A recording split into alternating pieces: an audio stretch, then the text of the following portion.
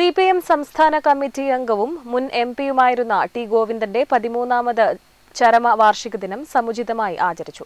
ഷേണായി സ്ക്വയറിൽ നടന്ന അനുസ്മരണ സമ്മേളനം സി സംസ്ഥാന സെക്രട്ടേറിയറ്റ് അംഗം കെ കെ ജയചന്ദ്രൻ ഉദ്ഘാടനം ചെയ്തു.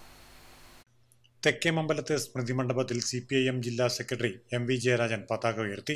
ഷേണായി സ്ക്വയറിൽ നടന്ന അനുസ്മരണ സമ്മേളനം സി പി ഐ എം സംസ്ഥാന സെക്രട്ടറി രംഗം കെ കെ ജയചന്ദ്രൻ ഉദ്ഘാടനം ചെയ്തു. അപവാദ പ്രചരണങ്ങളിലൂടെയും കേരളത്തിലെ ആ ജനങ്ങളെ ആകെ തെറ്റിദ്ധരിപ്പിക്കാൻ കഴിയും. അങ്ങനെ കേരളത്തിലെ ജനങ്ങളെ കമ്മ്യൂണിസ്റ്റ് പാർട്ടി മാർക്സിസ്റ്റിനും ഇടതുപക്ഷ ജനാധിപത്യ മുന്നണിക്കും എതിരാക്കി തീർക്കാൻ കഴിയും. അങ്ങനെ തങ്ങൾക്ക് അധികാരത്തിൽ വരാൻ കഴിയുമെന്നുള്ള വ്യാമോഹത്തോടു കൂടിയാണ് കഴിഞ്ഞ തെരഞ്ഞെടുപ്പിന്റെ കാലത്ത് യു ഡി എഫും ഒരു ഭാഗത്ത് ബി ജെ പിയും എല്ലാം ചേർന്ന് പ്രവർത്തനങ്ങൾ സംഘടിപ്പിച്ചത് തെരഞ്ഞെടുപ്പ് പ്രചാരവേല.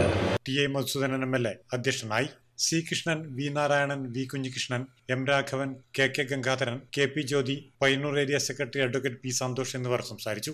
Network news Payyannur.